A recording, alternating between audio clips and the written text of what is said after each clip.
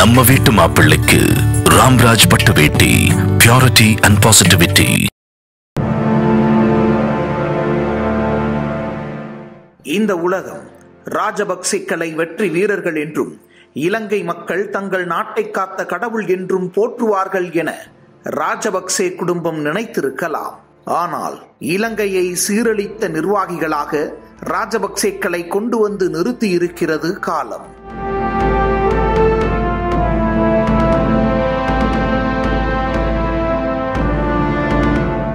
இலங்கையில் நீடித்து வரும் மோசமான நெருக்கடிக்கு மத்தியில் அங்கு அவசர நிலை பிரகடனப்படுத்தப்பட்டுள்ளது. எதிர்க்கட்சிகளின் போராட்டங்கள் தடுக்கப்படுகிறது. அதையும் மீறி மக்கள் போராடி வருகின்றனர். மகிந்த ராஜபக்சே பிரதமர் பதவியை ராஜினாமா செய்துள்ளார் என்று செய்தி வருகிறது. அதை அதிபர் கோத்தபய ராஜபக்சே ஏற்கவில்லை என்று தகவல் வருகிறது. பின்னர் மகிந்த ராஜபக்சே ராஜினாமா செய்யவில்லை என்றும் அது வெறும் வதந்தி என்றும் பிரதமர் அலுவலகம் விளக்கமளிக்கிறது. அடுத்த ஒரு மணி நேரத்தில் மகிந்த ராஜபக்சேவின் மகன் நமல் ராஜபக்சே அமைச்சர் பதவியிலிருந்து விலகுகிறார்.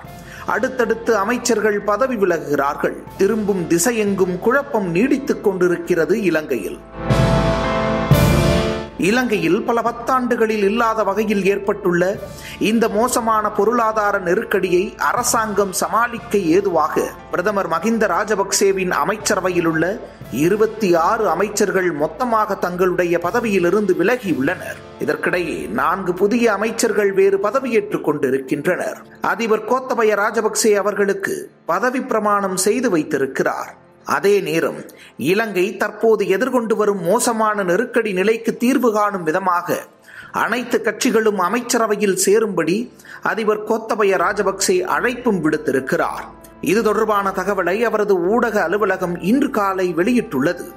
ஆனால் மூழ்கப் போகும் கப்பலில் யார்தான் ஏறுவார்கள் என்ற நிலைமைதான் நீடிக்கிறது. தற்போதைய நெருக்கடிக்கு ராஜபக்சேக்களின் தவறான நிர்வாகமே காரணம் என்று கூறி எதிர்க்கட்சிகள் மற்றும் பொதுமக்கள் ராஜபக்சே சகோதரர்களின் பதவி விலகலை வலியுறுத்தி வருகின்றனர். ராஜபக்சே குடும்பத்தை ராஜினாமா செய்ய கோரி வந்த பலரும் சமீபத்திய அமைச்சர்கள் ராஜினாமா முடிவால் திருப்தி அடைந்திருக்கவில்லை. போராட்டத்தில் ஈடுபட்டு வரும் பலரும் அமைச்சர்களின் ராஜினாமா நடவடிக்கை அர்த்தமற்றது என்றே கூறுகின்றனர். பெட்ரோல் டீசல் விலை பன்மடங்கு உயர்ந்துவிட்டது உணவுப் பொருட்கள் கிடைக்கவில்லை. பனிரெண்டு பதிமூன்று மணி நேரத்திற்கும் மேலாக நீடிக்கும் மின்வெட்டு ஒட்டுமொத்தத்தில் திவால் நிலைக்கு சென்று விட்டது இலங்கை. இதனால் கடும் அதிருப்தியில் உள்ளனர் மக்கள். எப்போது எது வேண்டுமானாலும் நடக்கலாம் என்ற நிலையில் இலங்கை உள்ளது. ராஜபக்சேக்கள் எப்போது வேண்டுமானாலும் நிலைமையை சமாளிக்க முடியாமல் இலங்கையை விட்டுவிட்டு தப்பிவிடலாம் என்று கூட சிலர் யூகிக்கின்றனர். அல்லது இராணுவ சட்டத்தை அமல்படுத்தி நிலைமையை இன்னும் மோசமாக்கவும் வாய்ப்புள்ளது என்றும் சிலர் நினைக்கின்றனர்.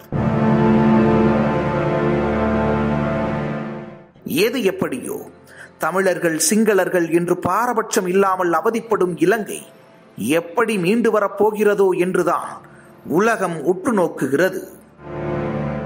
நம்ம வீட்டு மாப்பிள்ளைக்கு ராம்ராஜ் பட்டு வேட்டி பியூரிட்டி அண்ட் பாசிட்டிவிட்டி